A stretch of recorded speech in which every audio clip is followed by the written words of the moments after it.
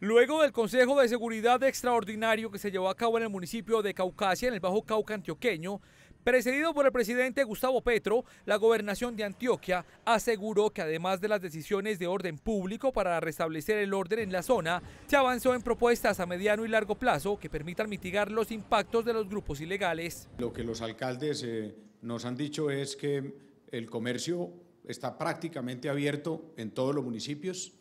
Mm,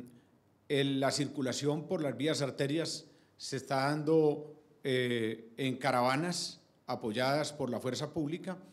Mm, hoy, en este momento, digamos, la circulación es bastante em, fluida,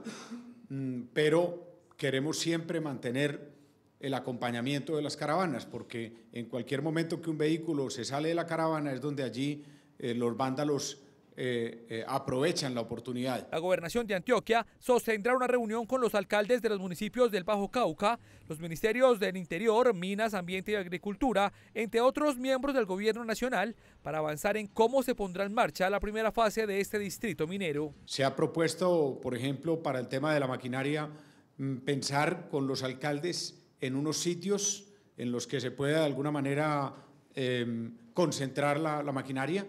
eh, sería varios sitios para facilitar ese tipo de logística. Se ha propuesto también una eh, posibilidad de apartar la maquinaria de los cauces de los ríos. En esta subregión del departamento se continúan las caravanas, de las que ya se han realizado 60, para garantizar el normal tránsito por la troncal de la costa, mientras que regresa la calma al sector con la intervención de la policía y el ejército.